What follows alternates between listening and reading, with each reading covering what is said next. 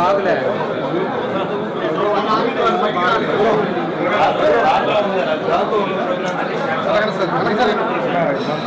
సహకరించు అంటే మీరు సహకరించాలి సరదా చేస్తారు నిలబడి అంటే సరదాగా చేస్తున్నాము ఇప్పుడు కలిసి వెళ్ళిపోతారు పది రోజులు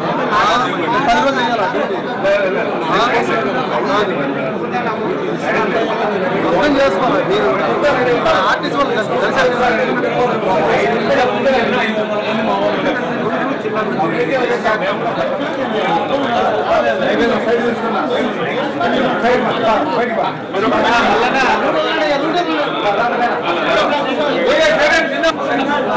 మల్లన్నా మల్లన్నా.